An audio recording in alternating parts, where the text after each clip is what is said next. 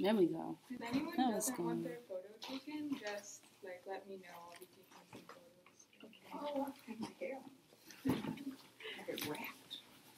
I want to thank everybody for coming to the Black Lesbian Archives Workshop Archival Project. Remember when I reached out to you, Candace? I think we were supposed to do this, what, in June? Yeah. Yeah, we were supposed to do this in June first, but Iman- uh, Imani was like, let's just wait. Like, wait till after everything is kind of taken in first, and then we can do the archival project to kind of wrap it in. So I appreciate you for coming through. Yeah, thank you for inviting us. Yeah, definitely. And your name again was? Asti. Asti. Asti and Maggie, Meg. Megan? Maggie. Maggie, Maggie, Maggie, thank you for coming. Um, and everybody else too. Like this, this project has been like eye opening to the fullest.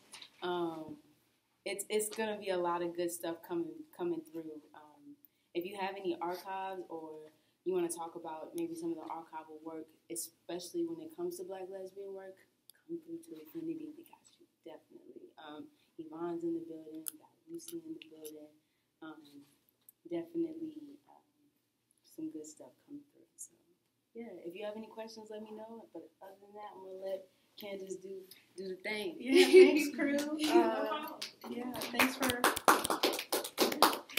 thanks for inviting me to do this. Um, I'm Candace Ming. I'm the archivist for the Southside Home Movie Project. Uh, we collect, preserve, and digitize small gauge film from residents across the South Side. So uh, right now we have about 25 collections, about 300 objects, um, and we just launched our digital archive um, where you can actually search and view everything digitized.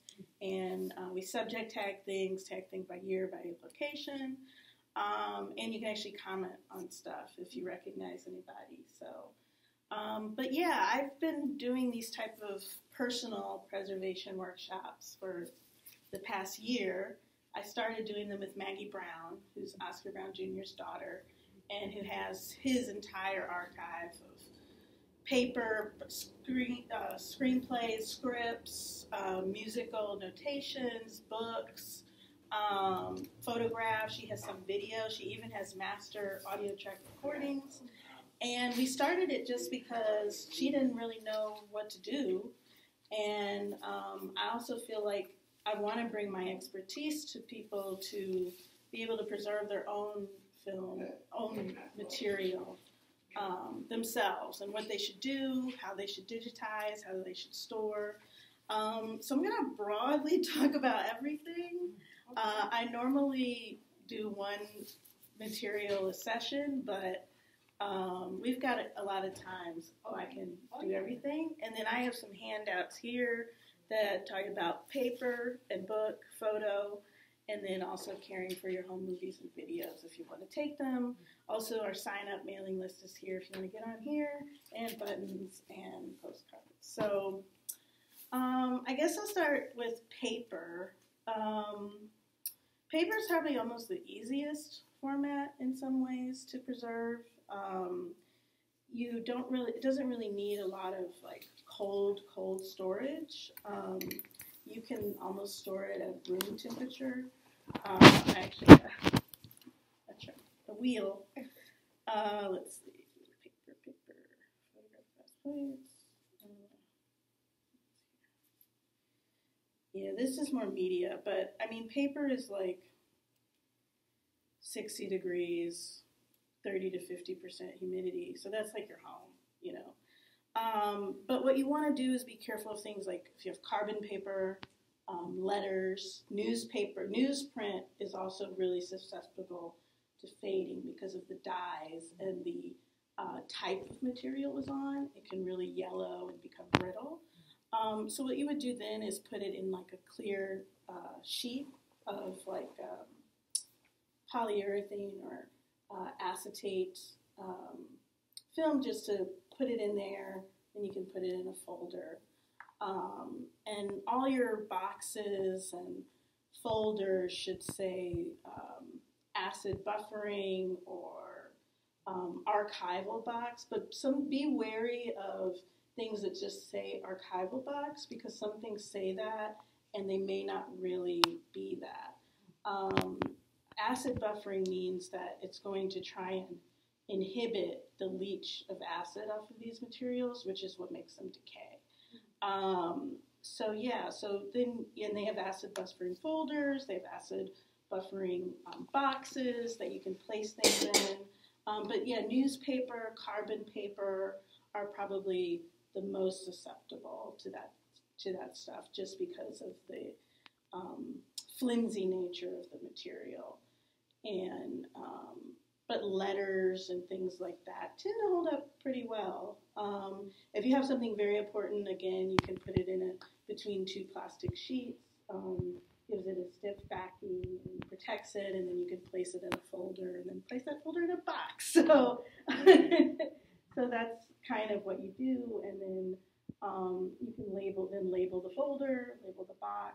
Um, I think labeling is probably one of the big things people struggle with. I mean, I know in my family, um, we don't have a lot of paper, but we have a lot of photographs that were actually from my grandmother's uh, mother, who, and they've both since passed. So I'm going through them and trying to talk to my granddad about who is it and all that stuff, but it's like he doesn't know, and really the only person we can identify is my great grandmother. Um, so I think like labeling your photos, and you can just write in pencil on the back. Um, labeling documents, going to your elders to try and get that information now will really help in the long run um, because once they pass, that information dies with them. Um, photos, um, you want to store in a much cooler environment than paper. Um, I do have photos on here. Let's see. So,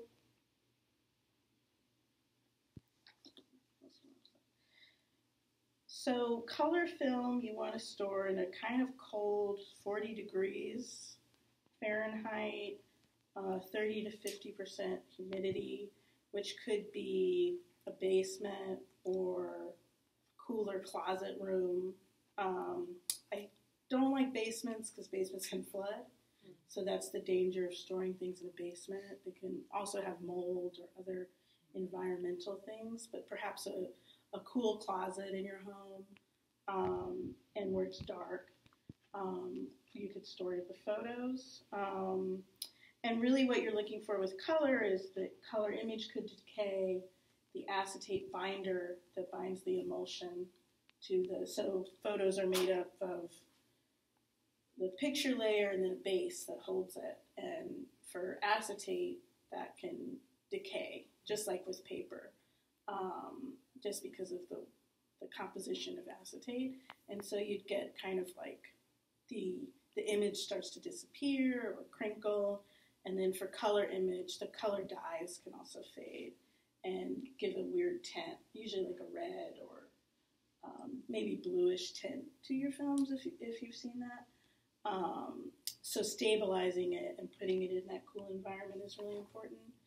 And for photos, again, you want something acid buffering, but photos, um, then you also want something that says uh, passed a PAT test. And a PAT test is a photographic activity test. Um, and that means that the materials won't cause any further decay of the color or emulsion.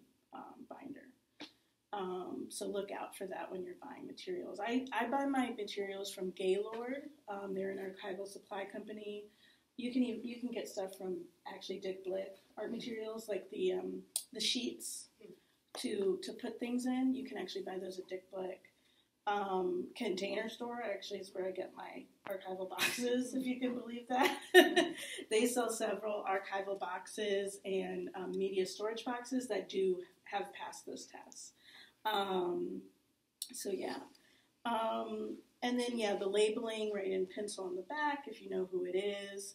Um, for photos, uh, you can again if you want to put them between some sort of plastic sheeting that has passed that test, and then you can put that in a binder. Um, that just a, it's a protective measure. Um, and then for photos, you always want to wear um, gloves just white cotton gloves to handle it. Um, if you don't have them, just hold it by the edge so you're not um, getting thumbprints or other oils on the image surface. Um, paper, you actually, it can actually be more dangerous to handle with a glove um, because the glove can actually tear and it's, you know, it can be harder to manipulate. Um, and if the paper's fragile, the handling with a glove can actually be more dangerous. So I actually tend to not use a glove when handling paper. I'm just very careful and hold it by the edges. Um, and then, and then if you have slides like this, this one's, I, I grabbed the run roll that's overexposed.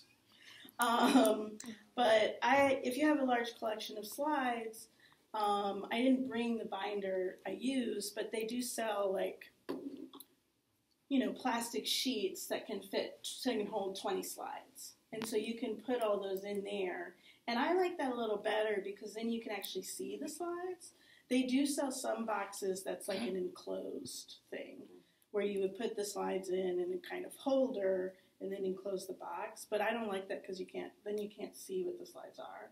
Um, so for our slide collections, I actually use um, 20 to yeah, it's about 20 slides to a roll, and then you can kind of these aren't labeled yet, but there is some space, you know, around the edges to write in pencil, um, you know, who this might be or where it is.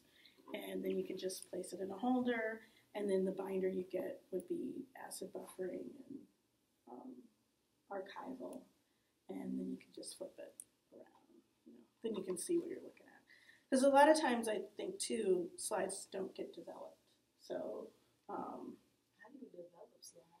Like, use uh, well i don't know i'm not sure how they did it back then but to do a print um, now i scan them digitally and i got them blown up uh, i actually did that for an exhibition because these slides are from the Jean patent collection um, but they people took slides but then like wouldn't make prints um, or they would just take slides and do like uh, they did have a slide projector and screen so i'm sure they were like look, you know, put, put fill your carousel, and then we're just gonna be like, this is our vacation, and so, and then they just go back in a box. Um, so that's kind of, I think that's how people use slides. They didn't tend to actually make a larger like print out of them. Um, but we did that for an exhibition, and then it was really nice because then we were actually able to give them to the family. Um, and there were some great shots of uh, Miss Jean who donated the collection. Um, so yeah, and slides again, handled with gloves by the edges. Um, you can find uh, something called a P- PEC, PEC cleaner. Um, if you think the surface is dirty, just uh, you know put some put some of it on the cloth and gently rub. Um, they also sell blowers. You can blow some of the dust off. Um, I would recommend doing that only if you're going to digitize them, so you can get a clear image. Um, and for slides like these without a backing, I would recommend a flatbed scanner. Um, even a home one can be good, um, but you want to make sure you have a scanner where you can adjust the DPI to at least for these. Well, for these slides, I would say at least 600 DPI at minimum. Um, because there is because they're Kodachrome, so there there is a lot of great color information in here um, that you don't want to lose. And so then the higher the DPI, the better the resolution. Um, these are at a, I scan these at something crazy because it's for archival purpose, like 4400 DPI. But I don't think that's not necessary for um, personal use. Um, and then you always want to scan to a TIFF, which is a tagged image tagged image file format, and that is an open archival format that is uncompressed. Um, something like a JPEG actually compresses the data, and you lose data. Um, Scanning yeah. You've been scanning in JPEG? yeah. Yeah, I mean, I think it's it, it's okay for what you've done, but if you go forward, try and scan to a TIFF if you can, um, because a JPEG is a compression, what we call a lossy format. So when it makes the file, it's actually going to throw out chunks of data um, to make it because it's going to compress it. A TIFF does not do that. it's what we call lossless. Um, so, you know, and then you can make a JPEG from a TIFF if that's what you want, um, if that's what you need to publish or, or something like, because TIFFs can get pretty large. They can, um, uh, some of our files may be up to five megabytes, which doesn't seem like a lot, but if you have thousands of slides, you know, it, it gets up there. Um, so I would recommend a TIFF um, as opposed to a JPEG. And and then for paper, the DPI can be 300. It's you know you're not there's not a lot of image information in a letter um, or anything like that. Um, photos that aren't slides like that, I would again recommend something as high as 600, um, 600 minimum, and you can go up from there. Um, and also doing a flatbed scanner um, and not putting it in like a tray or anything like that because that can damage it. Um, and um, and yeah, for slides, yeah, for just definitely for slides like this with that don't have mounts, you want to do a flatbed scanner. There are some um, scanners where you can just kind of load a rack of slides, but I found with doing these, um, they get damaged because they're not they're not mounted and it's just like cardboard. Um, if you have metal mounted slides, you could put them in something and then it would feed and then it would take about three hours because it's like a rack of 50 slides to digitize. Um, but yeah, so that's that's slides, photo books. Okay, so now my real wheelhouse film. um, so if you have film, so this is what we collect. This is an eight millimeter film. Um, it's not one of our unique collections. I think it's about, I think it's a promo, promotional film. Uh, when we get collections, a lot of times we also get cartoons or um, just strain. My granddad has some like golf instruction videos, so I often bring those as like examples. he had golf and bowling instruction videos. So I've been bringing those as examples of what we're looking at. Um, so this is an 8 millimeter film, and um, what you want to do with film is film needs to be super cold. So, and especially acetate. So, wheel. Um, I would say, yeah, I would say 40 degrees, um, 32 degrees, actually frozen is better, to be honest. Wow. Um, again, with that low humidity, 30 to 50 percent. Um, film is especially, acetate film is especially subject to changes in temperature and humidity. Um, fluctuations in that really cause the decay. Um, you're frowning. Um, so you could store it in a freezer or fridge. I would say still a base a closet, a cool closet is best. Um, we offer, store it in a fridge. Huh? Don't store it in a fridge. The fridge can be tough because of the moisture content.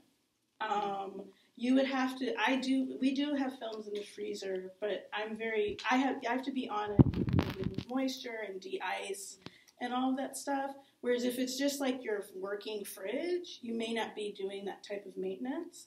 Um, so that that's why I hesitate on that one because the moisture can also really affect the and damage the film.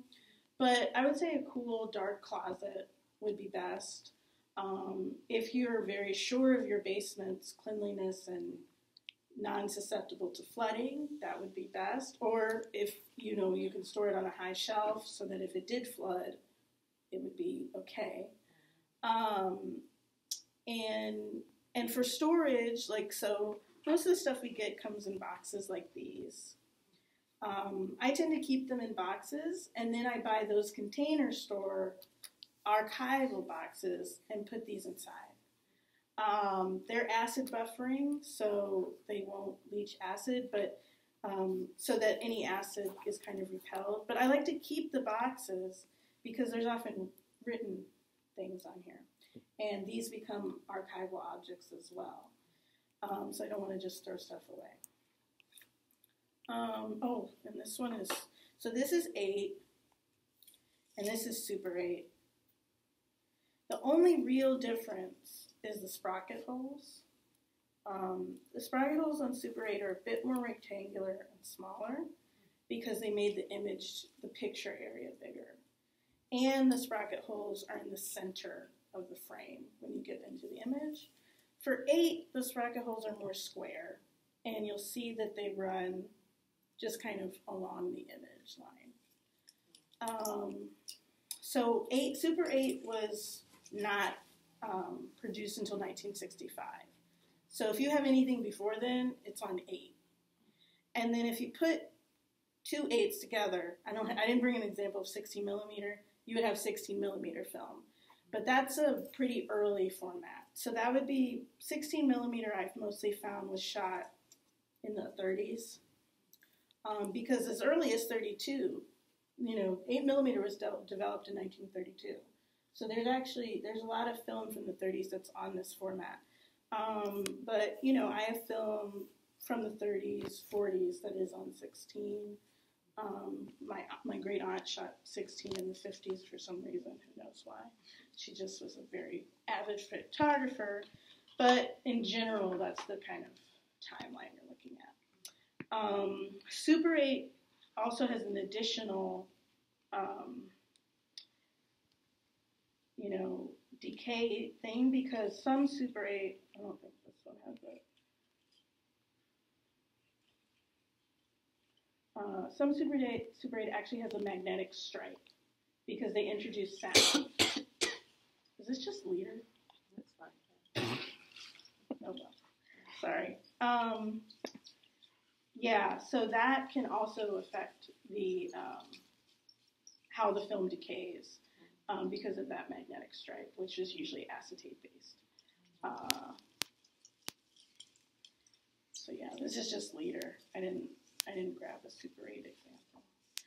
Um, and we do have some sound collections um, in our archive. Because I think they introduced sound mm, probably the late 70s. You could plug a mic into the camera and talk and narrate stuff. And then when you got the film back, you would see a brown stripe running along the edges here, and then a balanced stripe along this edge as well. Um, so that's an additional, you know, it adds to the possibility of decay. Um, for your own films to kind of test like how deteriorated do you think they are, if they smell like vinegar, you're in a very dangerous zone. If they can, um, because these are acetate based, uh, and when they decay, they leach acetic acid, which smells like vinegar. So if you just kind of take a whiff and go, oh, it's very vinegary, um, then you want to get it to an archive, or you could try and put it in the fridge. That would stabilize it, but once it start, once once vinegar syndrome starts, it just keeps going.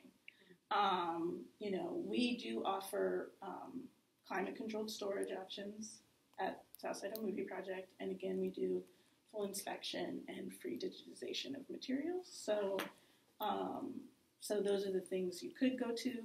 Um, Chicago Film Archives also does transfer services. They also offer climate controlled vault storage.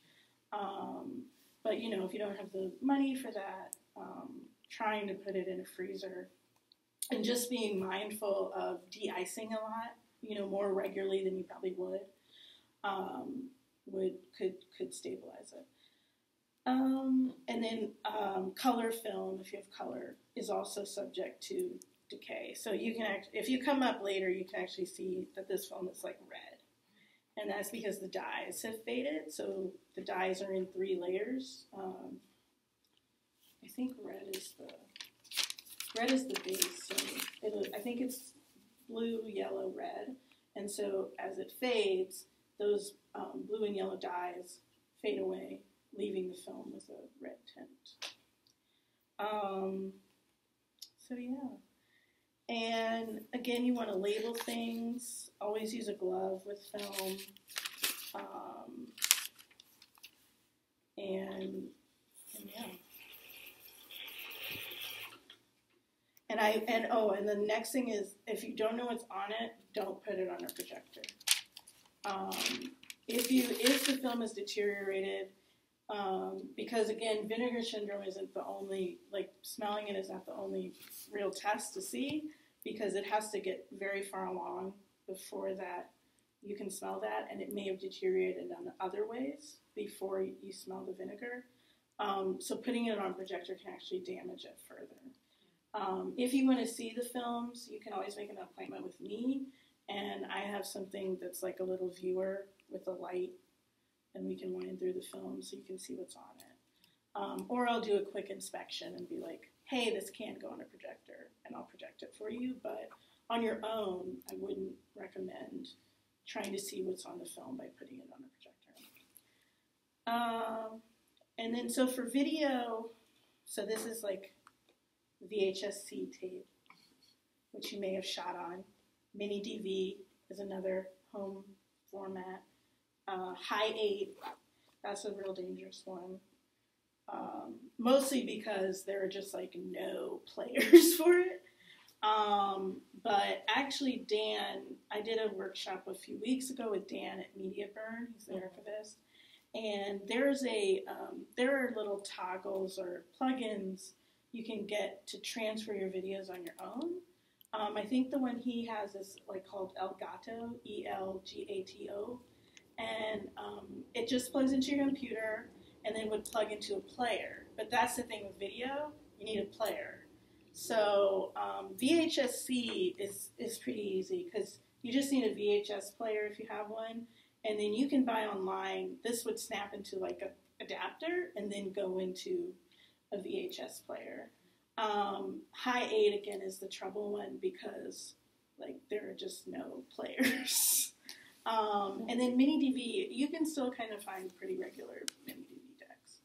Um, if for high eight especially, Media Burn also offers transfer services because they have those decks. I think their rates are seventy dollars an hour, um, and it's it's expensive.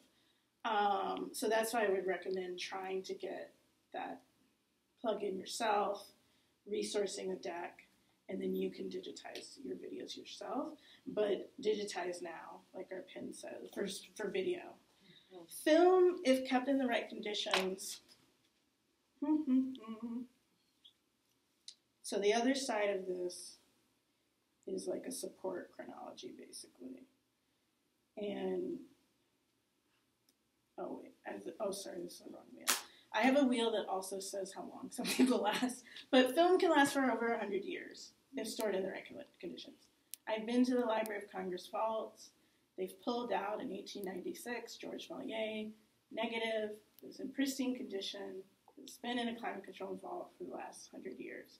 So if you keep it right, film can last for a long time. Video, in perhaps less than five years, you're not going to be able to get the information off these tapes. So you really want to try and transfer your VHS, your mini DV, all that stuff right now. Um, you don't need to transfer to an uncompressed format.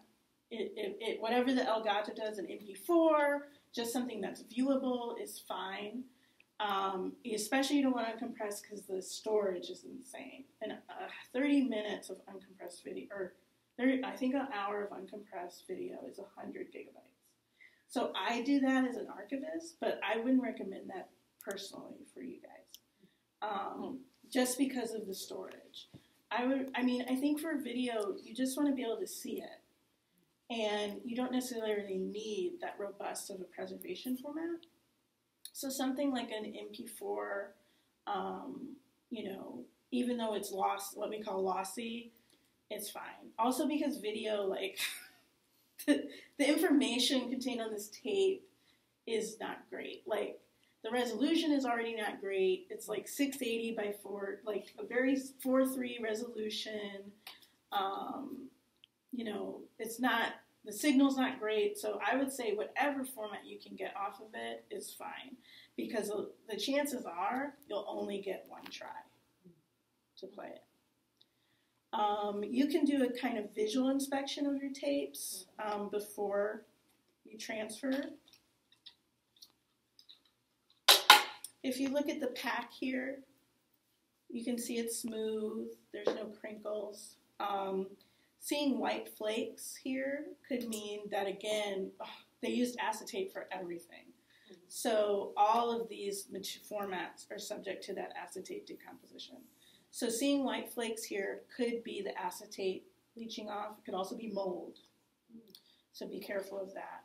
Um, if you see any tapes with that, I'd recommend Media Burn because they have cleaning machines. And they can also, if um, it is acetate going to de- decomposing so badly, they also what they do is they bake the tape.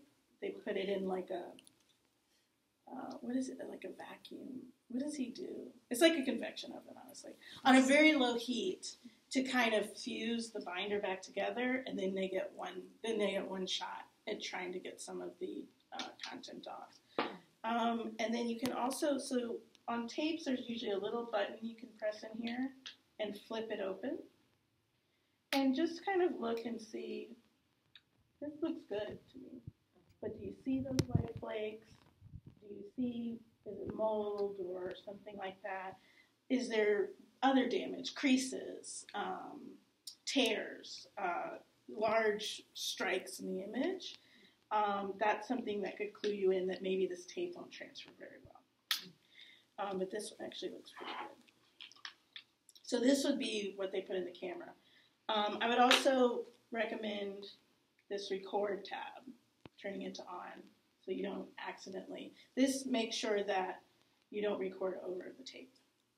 Some it's a switch, um, so you just do off, on. Others for VHS, you actually have to like punch it out. um, but I would recommend doing that so that when you put it in the player, there's no um, accidents where you accidentally hit the record button or something, and then you're recording over your home movies. You know. So yeah, and for in terms of storage, you want um, I would recommend external drives. Um, you know, depending on the content, it can be hard to know how much storage you need. But you know, one of this is 30 minutes. An MP4 copy would be maybe like two to five gigabytes. So if you have 30 of these, 30 times five is 180 gigabytes. Um, I would say that kind of um, doing those kind of metrics, and then paper is like um, two megabytes of material. Like paper and photo are two to maybe perhaps even five megabytes of material with the recommendations I've given you. So they won't take up a lot of space. It's really film and video that will take up the most space on a drive. Um, but if you say, oh, I think I'll need 500 gigabytes, get a one terabyte drive. And then what you would do is you would put it in RAID mode, R A I D. So what that does is actually mirror the content on the drive so that if something fails, you still have. Um, I know it's a lot. I know it's a lot. I have my card here, so if you have more questions, you can always email me, and I will go step by step with you on how to do this. Um, but I think the big takeaway is whatever storage you think you need, double it. Yeah, but And it's on the same drive. It's on the same drive, but it may be a different. So RAID, it if part of it fails, you would still have the information. Because and then Why you wouldn't you just get two two drives? um because then well, what if both of them fail? Okay, question. hmm So I have a one terabyte thing. Yeah, that thing. so I'm gonna go into that, and so that means it'll be on that copy twice. Yes. Yeah. Should I just Google that when I get home? Yeah, our our AAD put it in RAID mode. Great. How do, how do you put it yeah. in raid mode? You can Google it. Um, basically, the the problem though is if you already have content on it, you're gonna want to take that off. And because doing RAID mode will act will need you need to erase it and then put the content back on.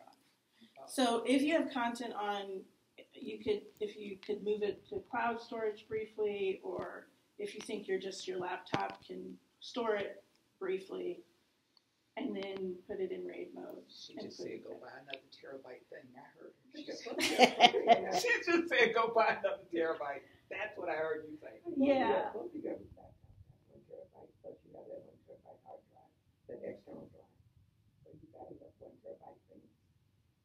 Yeah, all you, all I, all you would need to do is move the content temporarily.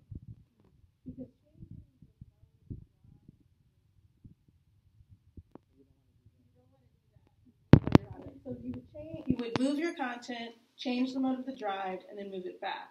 But the thing with RAID, which is why I said double it, because if you put something in RAID mode, you're going to have the storage. So you're actually going to have only 500 gigabytes to work with because it's going to mirror the content. It That's- automatically does that. It automatically does that. So that's why, so even if it fails, most likely the chances are, since you have two copies, even though they're on the same drive, you would still be able to get it off. Um, So one copy will, if one copy fails, it does not affect the other copy? Yes, exactly. Um, also, what you can do um, I mean, we do Larchivist. There's something called LOCKSS. Lots of copies keep stuff safe. So I don't recommend cloud storage as your main preservation thing because that's fraught with third. It's owned by a third party. Your where is your data on some server in California? But if you have the external drive plus cloud storage, um, your your your content you can kind of be sure it's pretty backed up. Um, So before I ask Google, is, is it possible to buy another drive those two drives together and copy from that drive and then just in two places to keep from, yeah, Right. just to do yeah, to just keep from having? two? yeah. Then you could just do two two drives. My the thing with RAID is because the mirrored copy, if one part fails, it doesn't affect the other part. What would happen is even though you have two drives, they both fail. But I will put the second one before I Oh, copy before you over. copy it. Oh, then Yeah. that's yeah, that's good. Yeah. And then you have almost three. And then if you upload the Google Drive or something, you have almost three. That would be great. Um, I know it's a lot. Digital preservation is Well, it's just, I mean, It's- it's, it's like the question of when your drive is gonna fail, it's not if. it's not yeah, it's just when. So you have to have some kind of. And that's the cloud storage. I mean, if you use Google Drive, I use Box because the University Harvard this is like unlimited data. Um, but anything like that, you know, you can be kind of like, oh, like, my stuff is safe. So even when your drive fails, you can erase it, see if it's repairable, and then reload things. Um, so yeah, again, lots of copies stuff. Um, I have quite a bit of oral histories on, you know, that we've done that are on external drives, and I have been told that there, you could, I, there wasn't enough space on the cloud for that. Oh, yeah. So is there a way to put, put it on the cloud? I mean, if you have an awful lot of material? If you have a lot, so that's also the, you have to pay. Uh-huh. So for most cloud storage services, the free accounts come with something like, I think Google's like fifteen gigabytes. Um, App, Apple is five, Dropbox is maybe five. Um, and then you would upgrade.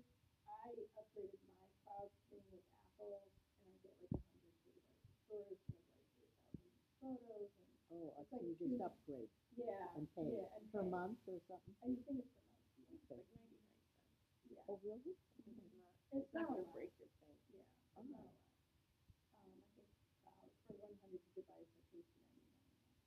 And then for the but for the iCloud storage, I'm sure that my every other physical disk needs to lose it. Um, but yeah, if you have that problem, and it's worth it. I mean, because this is your materials, um, but I would always keep the that's also the way to it long term. Don't digitize and then throw stuff away.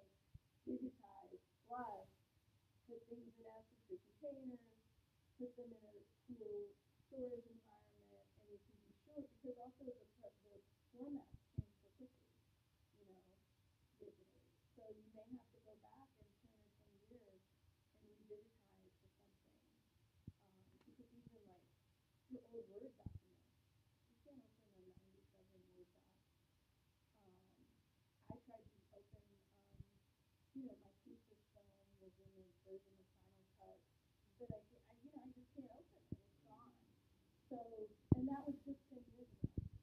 So that's how fa- how rapidly things are changing. So always keep the format. Videos are little different because like it's just going I would say video is the hardest because you want to give time and then possibly I would just take it really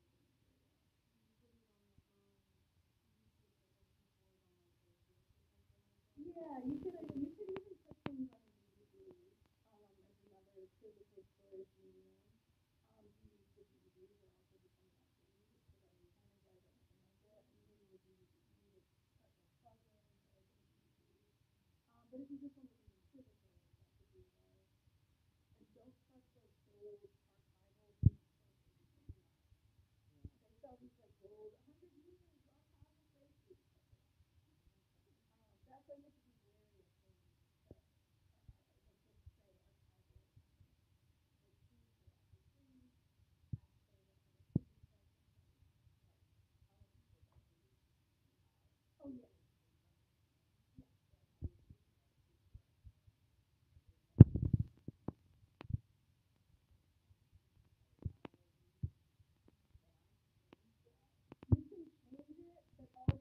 duplicate things. So It's it's not, not- gonna read. It's not gonna. No, you'd have to rescan the photo Mm. for it to be a real. It's okay. It's easy for us to say. Yeah, it's it's tough. I mean, because 96 by 96 is almost like web resolution, which is very low. It's tiny. So you want something like 300 dpi is generally publishing quality. Um, and I would suggest then even 600 because there's so much. Oh, I didn't bring a photo, but there's so much color and other information in a photo that you want to capture. There you go. Yeah. So see, look how look how much information is is present here in terms of the lights and darks, the color, um, the shadows. Um, you 600 dpi will hopefully give a faithful reproduction of that, whereas 96 is, is not going to. Um, So it actually means dots per inch. dots per inch. So the more, yeah. So sorry. Uh, the more dots you have, the more it's going to reproduce. So like in '96, it's going to sample like here, here, here. 600 is going to be like do do do do do do do do do. do. I got it. So that's that's why the higher DPI, the higher the resolution. So if we bring movies to you, digitize them for us, Yep, for free. and then you keep a copy, or what's the deal? We keep work? a copy. Um, it gets published on our digital archive, which I can show you. Um, if if there are films that too personal, I'll hide them. But in general, You put a disclaimer like they're not available. Mhm. Okay. um, there's a there's a collection of. It's not her actual birth, the birth of her son, but she's like in the hospital, and I was like, mm, I'm not gonna show this. Mhm. So those are personal. Um, so let's see. So this is from the Pitts collection. You can see everything. Most of our films are silent, but we have a few that are have sound. They're on the Liberty. So it gets published there. We might use it in events. Um, you would get a copy via that cloud storage I talked about. And then I also preserve the digital copy in like three different places. um, and I preserve the uncompressed version. But what I would give to you is a access, like a MP4, unless you specifically request. Yvonne, I know you're a filmmaker, so if you want like a ProRes or something to edit with, I can give that to you. Um, but generally, I just give like a, a high quality MP4 to people. Um, some people request a DVD, DVD, which I reluctantly make and give to them because it's super hard to do a publishable DVD that you can put in a play.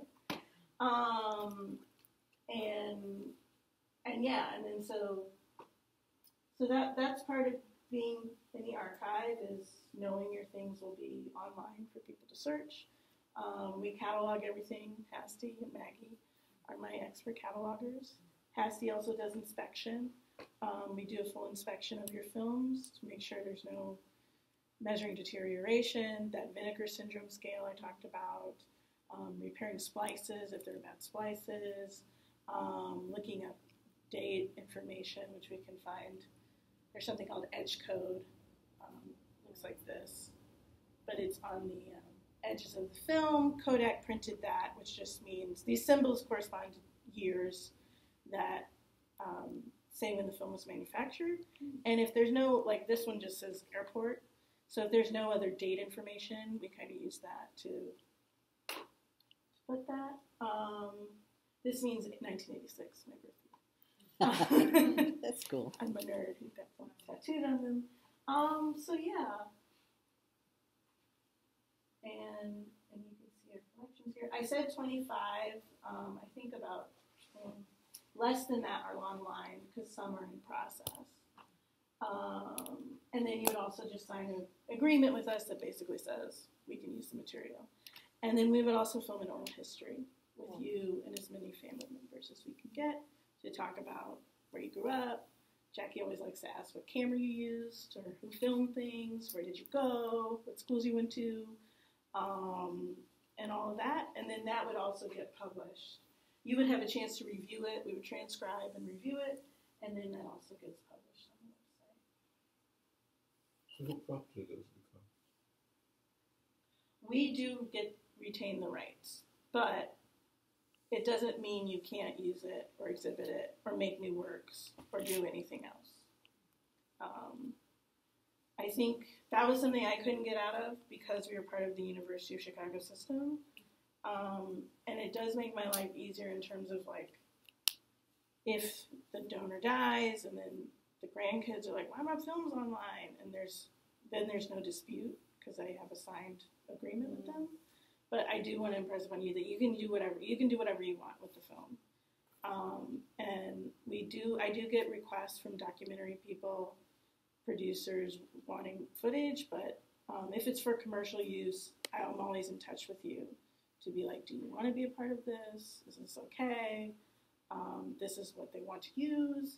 I usually try and ask for a rough cut just to see how it's going to be used. Um, and then you would also then, your collection would then be credited in the film if it's used. Um, I get a lot of requests so far, but nothing has actually panned out. Yeah. um, uh, so, oh, and so here's all those shoes. These aren't up because uh, they need to be trimmed, they need to be captioned for accessibility.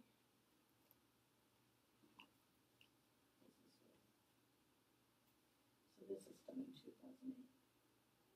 Did you take still photography or just movie?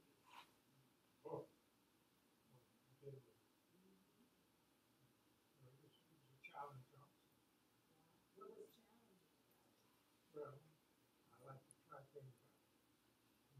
So yeah, so that's just an example of what we do. Nice. Um, this is Alice McClellan who shot the film, and this is his daughter Susan. So again, we do try to get as many family members as possible, if possible, if they're still living, the person who shot the footage, and um, also sons and daughters and people who may appear in the footage as well.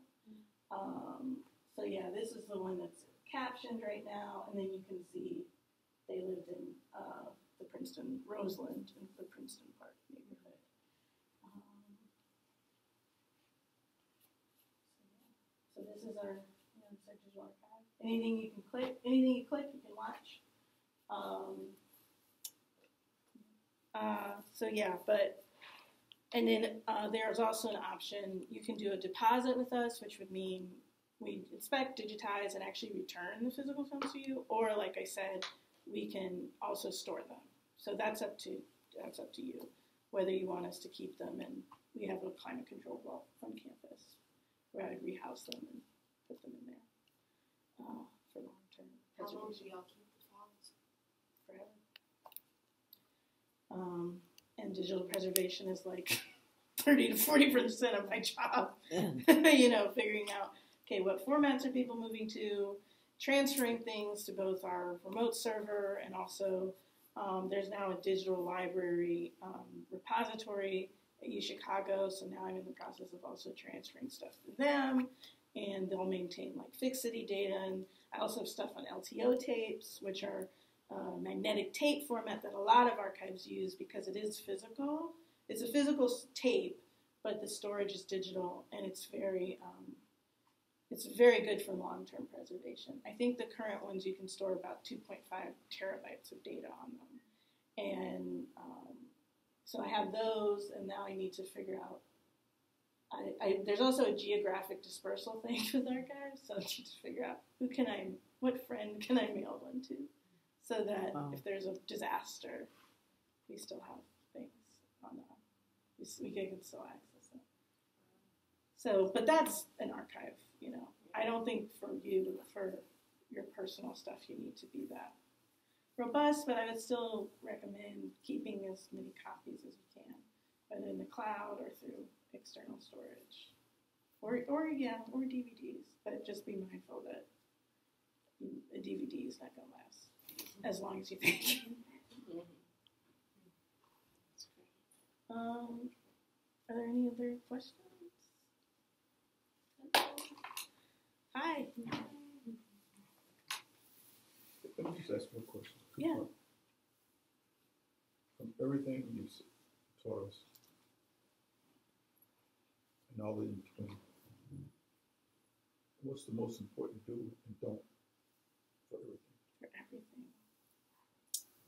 I would say do put things in proper storage, like I said. That's the best way to preserve it long time, long term. I mean, um, again with paper, I mean we have stuff from the 1300s. So again, it is a medium that's pretty robust once put in proper storage. The same with film.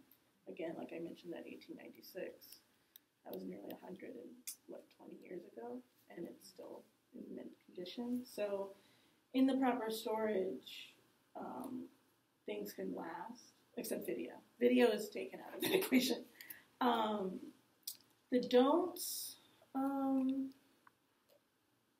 don't throw anything away. Again video's out of that equation. Ignore video because the recommendations are different but don't throw anything away. Because again, like I said, there may come a time where you need to go back to the originals, and you know maybe they'll come up with some crazy new digital format, or your MP4 will stop being supported, so you need to redigitize, um, yeah, or your di- TIFF will stop being supported for some reason we don't know, so you need to redigitize to some new format. Um, so yeah, don't throw anything away. Do put it in proper storage. I would say those are the big ones. And then for video, the do's and don'ts do digitize now and don't wait. So I have an old camera. I bought a camera that came with that film. So I should go ahead and just use that, videotape it now, put mm-hmm. something on it because it'll be too late soon. Mm-hmm. yeah. Okay. Um, and if you have still the camera, that's another way to digitize it. Because you could put the tape in the camera, and there's usually outputs. And you can use this Elgato thing to plug into the camera and then plug into your computer. Mm-hmm. So either you just need the camera that was used, or look on eBay. And the resolution isn't going to be that great, right? Oh. No, I mean, it'll be good for video. I mean, video's already in standard definition, which is not that great resolution. I mean, that's a 680 by 480 picture. There's no way to make a better copy. You could upres it, but it's not going to really do anything because you're just replicating data. Mm. There isn't, like for video and for film, there isn't data for you to, there isn't like extra data for you to capture. Um, It is what it is. it is what it is. It is standard definition, and what you get is what you get. Like, there's not like some secret hidden hidden data where it's like, oh yeah, it can be 1080p somehow. No, it's always going to be standard definition. You get upres it to 1080p, but it probably won't look that different Yeah. because it's just going to replicate What's already stuff, there. what's already there to make it into 1080 picture. Um, I have like a hundred mini DVDs. Oh, mini DV. Mini DV, you also want to watch out. Look and see if they say ME, which stands for metal evaporated, because that causes more decay. I need to transfer all this. You need to transfer You do. digitize now. It's going to get an intern. Yeah. So the, the the standard video is 680 by 40. Did you say? By 480, oh, by 480. which is standard definition. okay. Whereas now this TV is what 1080i, 1080p picture. Um, video is like. like this. it's a little Yeah. Um, so you could upres it to make it fit the screen, Yeah. but it won't look any different. It's still going to look like those home. Yeah. Yeah. Yeah. Okay, that's my last question. Um, all right. So everybody walked out of here. still camera. And there's this one rainbow in all the time that happens with a uh, giraffe running over. What should be photographed, captured in film or video? I mean, A, a film- rainbow? I mean, the, the, the scene, because it's gonna be, it's gonna happen once in a trillion years. But what should, what, if we had a choice, I mean, We have a that choice. moment, 35 millimeter film. it should be in film. 35 And millimeter 35 film. millimeter No, it should- I mean, of course, it should be film or should be video. film. Why you say film? Film already has a better resolution than video. Um, Okay. for 35 millimeter film, we still don't have the scanning techniques to truly capture the resolution in sound because there's so much information in each image. So 35 is about it's about this thick. Um, 16 people do. I can show you some 16 transfer and you can see just how great it is. So we actually partner with. Um, the National Museum of African American History and Culture to do our transfers.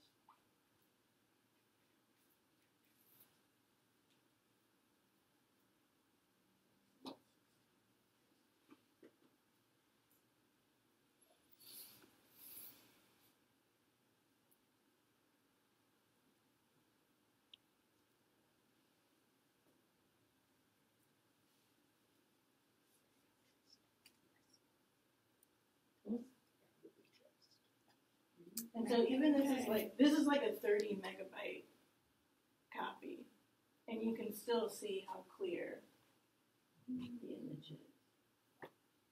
This is what we call a 2K scan. You can go as high as 8K now, which is not necessary for 16, but is close to capturing 35 millimeter. Um, and this looks even better on the higher quality access files I use, but even compressed down like this. That's Jean, sorry. You wanna go, you wanna go back. That's one of her sisters, Miriam. She's one of five children. That's another sister. Uh, top hat is dad and mom. Uh, Abram and Lori. Um, so this is an Easter Christmas combined reel from 1955. Where, Wow. where did, which neighborhood is this? They live in Chatham. But I'm still trying to locate the church. He was an AME minister, but they're obviously at some church that I'm not sure of. So yeah, there he is. I just tapped on. Sure, this is full tuxedo. Pin. What, what year is it? It's 55, 1955. So we do, you do have 16 millimeter as late as 1955. Um, my great, like I said, my great aunt was also shooting things that late. Okay. Um, but the primary format during this time period for home movies would have been 8 millimeter. Um, and what they did for home movies They is. were in Chatham? In I don't know. See, that's why I don't They know where could they have been are. in Chatham in 55. They lived in Chatham. They lived in Chatham in 55? She was one of the first people. Oh. She was a blockbuster, yeah. I was about to say, how could they have been in Chatham in 55? It says St. Mary's. Okay, where is that? Does anyone remember? So it's St. Mary's. So sister, sister. That's Miss Jean. Look it up. That's Miss Jean. And that was her sisters. Esther lived in Bronzeville. Yeah. I mean, they also lived in the Ida B. Wells homes at some point. Um, but I do know that Miss Jean and her husband were the first African Americans to move into 84th and Prairie. And then all the whites moved out, and actually the rest of the Patton family started moving in. So there's actually like five of them on that one block. Do we know what kind of church it is? St. Mary's, that was my struggle with Googling because I couldn't see what type of church. Like St. Mary's is kind of a common name. Um, but yeah, so that's also the kind of work we do with cataloging. Miss Jean is now 99. We did her oral history two years ago, and so she's not, you know, we did it with her niece, great niece, and uh, her niece and great nephew, but it's hard for her to remember that stuff. So old St. Mary's Church. That's the decided light. Oh, okay. It's a Catholic church, real St. Mary's, but the pictures are not. That was a little space, too. so yeah. Um, Somebody could probably tell you what block that was. Yeah, I may. I'm. I'll probably just email Keon um, and ask him. Keon Foreman is her great nephew. Um, and he's in in the movies. He's very excited about that. Um, so yeah, so this was done by the National Museum of African American Culture. Um, they also do. The parade machine doesn't have a magnetic sound reader. I can get the image, but not the sound. Um, so I send it to them, and they give me a wave. Um, but yeah, you can see the clarity of the image. So they keep a copy for the archives also. Hmm, Uh, they keep a copy in what they call study collection. Because they're a museum, they can't accession things like us. They need a curator's approval. Hmm. Um, so their project is actually more about just kind of scanning and giving people back the um, material. You can make an appointment with them, and they have ev- they have the VH, they have all the tape players. They even have audio equipment. Um, if you have vinyl or cassette, they have this big big scanner machine to do film, and then basically they scan it and give it to you on USB. They're not necessarily keeping things like us just because um, it's harder for them to. They need approval. Um, I don't know for them that when I worked at MoMA, we actually had a committee that approved. Um, What is gonna be collected. yeah, uh, the curators gave recommendations and the committee approved. Um, so that's why they can't really session it, but they do have what they call study collection, and that's what we do. And that's why that slate is on there, so people know it's ours, not theirs. So yeah.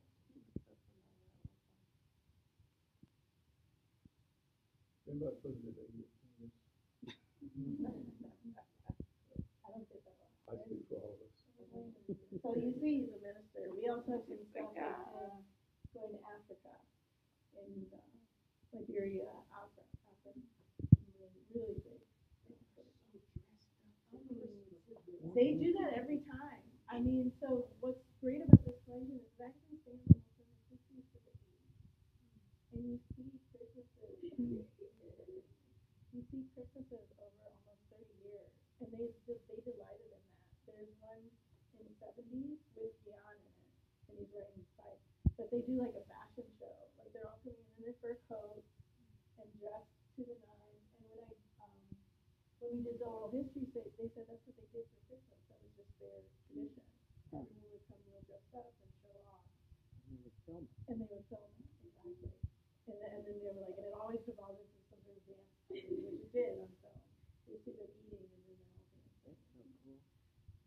what collection is the patent? What's the first name? He, Jamie Taylor. So she and her husband Robert had a hundred films, and we figured out because they were actually both shooting. Um, the sixteen millimeter was not shot by them. Um, that was something where we were when we were talking to them, and her um, her brother came in and was like, "I have some film," and he just like, and again, he just went down the block. He lived two houses down from her, and gave me five sixteen films. I think Oh, were wow. it might have been